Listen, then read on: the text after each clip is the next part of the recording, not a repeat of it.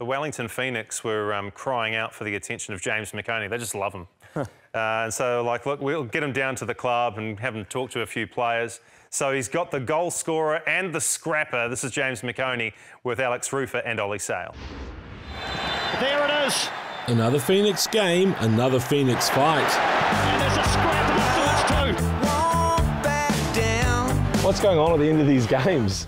Oh mate, a lot of it, lot of emotion. Uh, everybody's probably breathing heavily, uh, blood's boiling, and then yeah, just just a few fisticuffs. But it's always just handbags in football, mate. No danger of anyone getting hurt, um, other than a you know broken manicure or pedicure or something. But no real danger of anyone doing anything tough. The Mariners ripped this sail after their 2-1 loss on Sunday, but who can forget the Barney and Brizzy? But it's kicking off. This set to in Sydney. It's not friendly at all. Or when they got it on in Wollongong.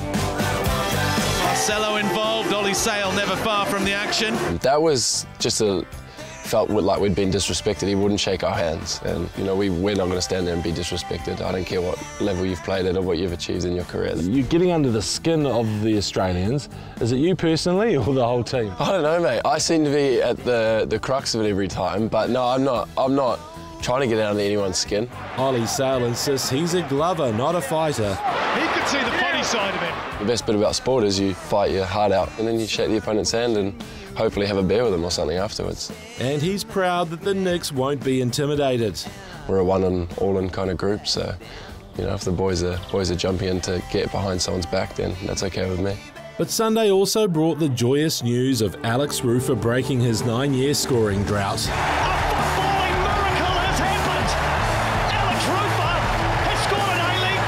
Did it bug you that you hadn't scored a goal in this 107 games? Yeah, it, it, played on my mind a little bit, but I knew it would come. Um, obviously, it was a long time coming. I'm buzzing for him. You know, eight years of, of, of grinding for that one.